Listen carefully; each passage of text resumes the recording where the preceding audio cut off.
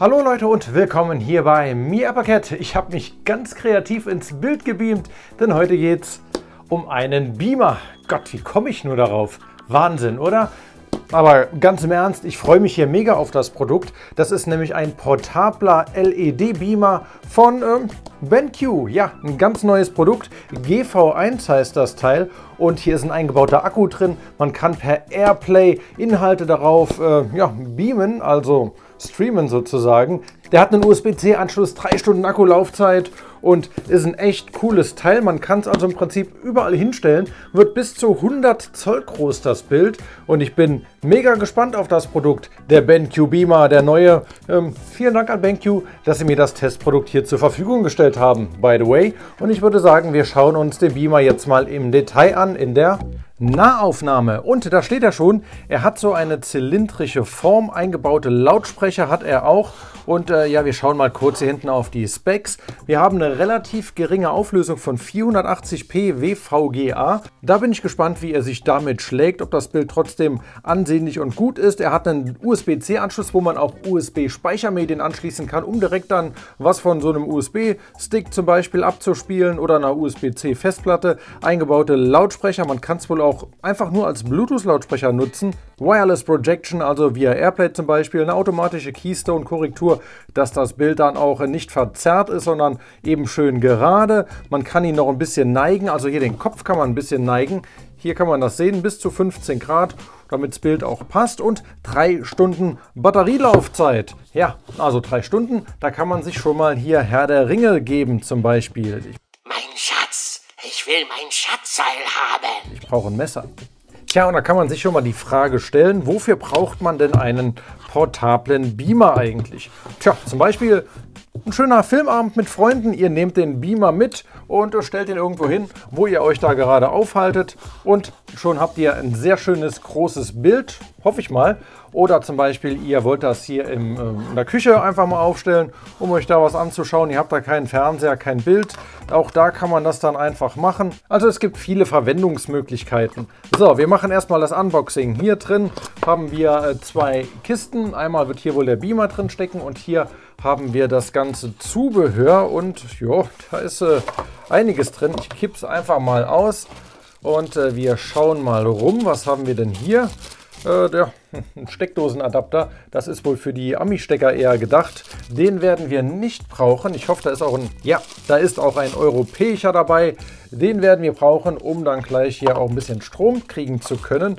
Und dann haben wir hier noch eine andere Variante. Also hier für alle Länder was dabei. Und unser eigentliches Netzteil. Bin mal gespannt, wie viel Output der liefert. Ach, ach na, er hat leider so einen proprietären Anschluss. Ich dachte, er lädt vielleicht auch hier über USB-C, aber da hat er so ein, ein Rundsteckerchen dran. Und hier stöpseln wir dann eben mal flott hier unseren entsprechenden Stecker ein. So, EU passt und wir haben einen Output von 12 Volt und 2000 Milliampere, also ein 24 Watt Netzteil liegt hierbei. Aber das kann erstmal zur Seite und wir, ach nee, da ist ja noch eine Box drin. Ich dachte, das wäre schon der Beamer, aber obwohl, wenn man genau hinschaut, hier kann man es ja sehen, hier ist der Beamer abgebildet, da ist er drin. Hier haben wir nochmal, keine Ahnung, eine Fernbedienung, ein bisschen Zubehör. Und was war hier drauf? Ja, hier war, ach, da sieht man es, ja, das Netzteil abgebildet. Also, sie haben das eigentlich sehr schön gestaltet hier von BenQ. Eine ganz schöne Unboxing-Erfahrung, wenn man genau hinschaut. So, was haben wir denn da? Eine Fernbedienung, ja. Und eine Tasche und Kabel, Kabel, Kabel. Was haben wir hier? Wir haben hier ein USB-C-Kabel auf USB-C-Kabel, also ein Doppel-USB-C-Kabel einmal, dann eine kleine Transporttasche und eine Fernbedienung. Das finde ich nett, dass hier noch eine Fernbedienung mit beiliegt und die, und die erinnert mich an irgendwas. Äh, habt ihr schon mal so eine Amazon-Fernbedienung in der Hand gehabt oder auch so vom Apple TV? Ein ganz ähnlicher Formfaktor. Batterie ist wohl schon drin. Hier ist noch das Nippelchen für die äh, Sperrung der Batterie. Dann haben wir hier Power-Button plus OK-Button, Auswahltasten, zurück, Menü, Home, plus, minus wahrscheinlich für lauter und leiser. Fühlt sich jetzt vom Kunststoff her nicht besonders toll an, zumindest hier auf der Oberseite. Die Unterseite fühlt sich nett an, aber die Oberseite fühlt sich so ein bisschen, hm, ich will nicht sagen billig, aber ähm, ja, könnte sich schöner anfühlen. Und hier haben wir einmal den Quick Start Guide, also damit wir hier auch mal flott loslegen können. Da gucke ich aber nur bei ja, unbedingtem äh, Notwendigkeit drauf und wir schauen jetzt hier weiter in die Packung und finden hoffentlich jetzt hier den Beamer. Ich hebe es mal an. Das ist leer. Und da ist das gute Stück. Schön. Der hat echt eine kompakte Größe. Meine Güte. Erinnert sehr, sehr stark an einen Bluetooth-Lautsprecher. Und im Prinzip glaube ich, ja, kann man ja sagen, ist das hier auch so eine Art Bluetooth-Lautsprecher, zumindest hier die untere Partie. Also schauen wir mal rum. Hier haben wir einmal das Objektiv, da ist noch eine Schutzfolie drüber. Und dann könnt ihr dort mal einen Blick reinwerfen. So sieht das Objektiv aus. Wir haben hier an der Seite Lüftungsschlitze dran, hinten Lüftungsschlitze und äh, da auch nochmal. Hier kann man noch ein bisschen was verstellen, wahrscheinlich die Schärfe, die man dort einstellt. Auf der Oberseite haben wir Bedienelemente. Einmal Power-Button plus minus, also Power-Button, der ist drückbar. Und das hier sind kapazitive Tasten plus minus und äh, ja, wofür auch immer das hier gedacht ist. Und da steht so mal GV1 BenQ Projektor. Dann haben wir hier unten den Lautsprecherbereich.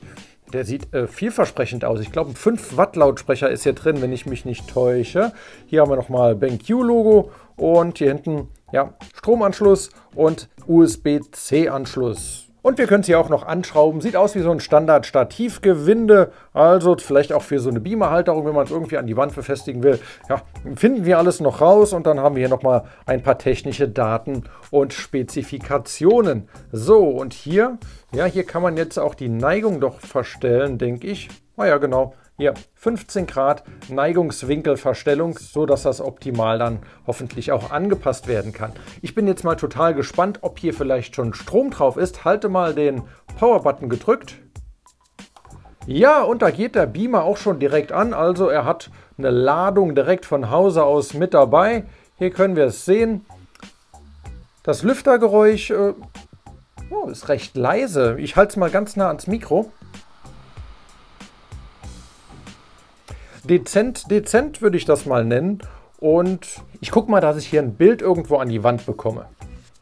So Freunde, ich habe hier mit der Verpackung mal eine kleine Leinwand improvisiert. Hier steht der BenQ Beamer und ich komme mit euch mal ein bisschen näher ran. Und wir schauen einfach mal hier im Setup-Menü, ja, was sich da so tut. Und ich hoffe, das ist für euch einigermaßen erkennbar. Ich mache jetzt hier mit der Fernbedienung mal die Einstellungen flott. Es ist halt ein recht kleines Bild. Ihr seht gerade mal so groß wie meine Hand jetzt aktuell. Aber naja, für den Anfang wird es reichen. Ich stelle die Sprache mal ein auf Deutsch.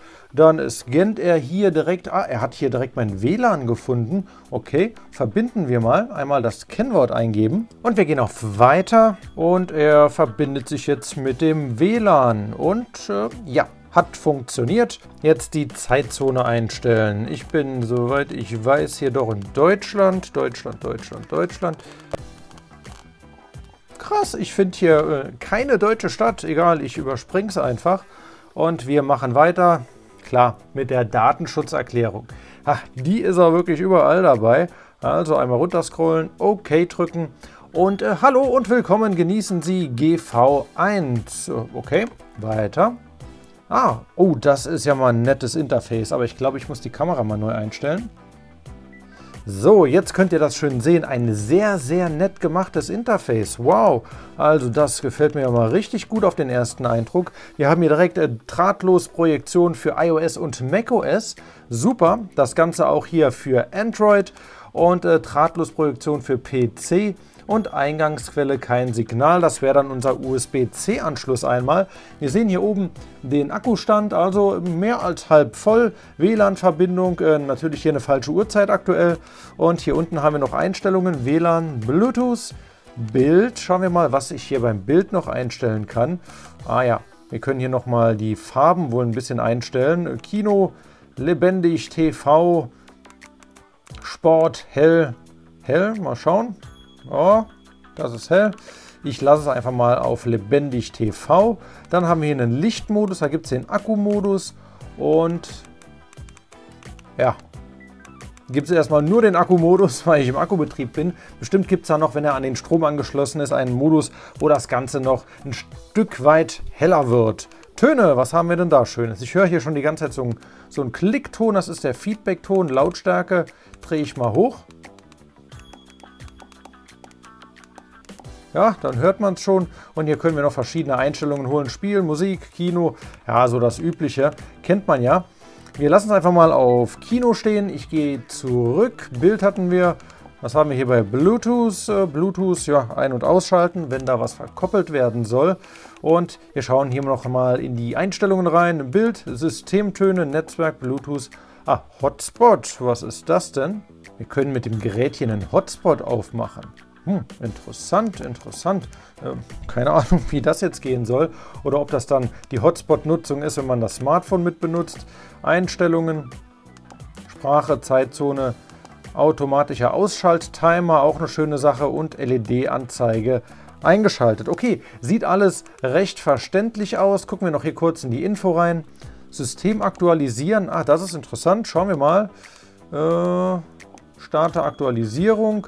Und er sucht jetzt mal nach einem Update. Da bin ich gespannt, ob es da schon was gibt. Es gibt tatsächlich schon ein Update. Wahnsinn. Das mache ich nachher direkt mal. Ähm, der kommt ja hier Mitte äh, Januar jetzt in den Verkauf oder ist jetzt in den Verkauf gekommen und schon haben wir ein Update da. Prima.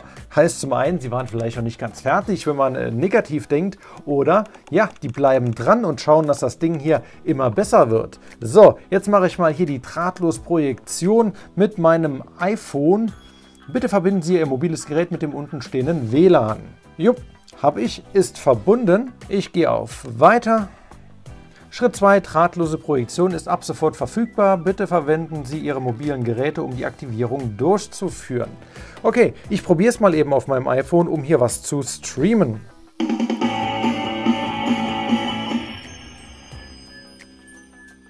Hallo Leute und willkommen hier bei Mi Abacat. Heute sprechen wir über die Mighty Rock E7 Active Noise Cancelling Lautsprecher, die zu einem schmalen Preis für Active Noise Cancelling Kopfhörer kommen. Und wir schauen uns mal an. So, das äh, hat ja prima funktioniert. Richtig einfach. Das Bild sieht jetzt hier bei mir in der Kamera ja so ein wenig äh, farbenfroh aus, so ein bisschen regenbogenfarbig. Aber lasst euch versichert sein, Freunde, das sieht in echt richtig gut aus, so auf den ersten Blick. Das äh, hier ist nur eine komische Darstellung aufgrund von meiner Kamera. Keine Ahnung, was da jetzt Phase ist. Auf jeden Fall, es hat gut funktioniert. Und hier sieht man nochmal, dass hier gerade gestreamt wird, also mittels Airplay. Prima Sache. Also es hat gut funktioniert. Das Bild macht auch einen ordentlichen Eindruck. Ist natürlich nur der erste Eindruck. Ich freue mich jetzt tierisch, hier mit dem Gerät mal richtig zu arbeiten, dem auf den Zahn zu fühlen. Und dann gibt es natürlich hier auch ein ausführliches Review. Aber für den Moment soll es das mal gewesen sein, Freunde. Ich bedanke mich fürs Zusehen und freue mich riesig jetzt hier mit dem GV1 rumzuspielen. Ein süßer kleiner Beamer. Also bis zum nächsten Mal. Macht's gut. Und äh, ganz unten, ah, hier, wir können es auch noch auf ein Objektiv, wir können es auch noch, wir können es ja auch noch befestigen, sieht aus wie so ein Standard, ach, wie heißt das denn? Äh, ähm, äh, Stativ. Und wir können es ja auch noch befestigen, sieht aus wie so ein Standard-Stativ, äh, Schraubverschluss, Gewinde. Und wir können es ja auch noch befestigen, sieht aus wie so ein Standard, da fick dich doch, oh Gott, äh, Stativ. Standard, Stativ, Schraubgewinde. Und wir können es und ja auch noch befestigen. Sieht aus wie so ein Standard. Leck mich doch fett. Stativ, Standard, Stativ. Und wir können es ja auch noch anschrauben. Das sieht aus wie so ein Standard Stativ. Äh, Gewinde.